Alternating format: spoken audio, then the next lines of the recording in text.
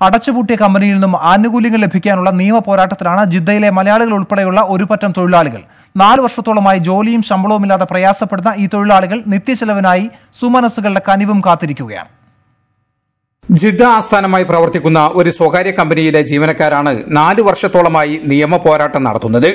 സ്പോൺസറും സ്ഥാപനമുടമയുമായുള്ള പ്രശ്നം കാരണം അഞ്ഞൂറോളം തൊഴിലാളികൾ ഉണ്ടായിരുന്ന കമ്പനി രണ്ടായിരത്തി പതിനഞ്ചിൽ പ്രവർത്തനം അവസാനിപ്പിച്ചു.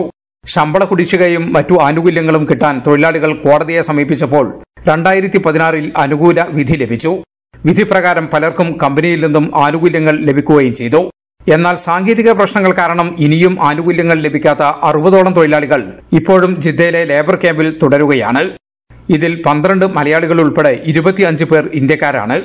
നാലു വർഷത്തോളമായി ജോലിയുമില്ല ശമ്പളവുമില്ല. മൂന്ന് വർഷം മുമ്പ് ഇഖാമയുടെ കാലാവധി തീർന്നതുകൊണ്ട് നാട്ടിൽ പോകാനും സാങ്കേതിക തടസ്സമുണ്ട്. സന്നദ്ധ സംഘടനകളുടെ സഹായം കൊണ്ടും കടം വാങ്ങിച്ചുമാണ് ഇതുവരെ മുന്നോട്ട് പോയത്. പോയി. അതിൽ പ്രായമായവരും സുഖമില്ലാത്തതുമായ പത്തറുപത് ആൾക്കാർ ഇപ്പോഴും ക്യാമ്പിലുണ്ട്.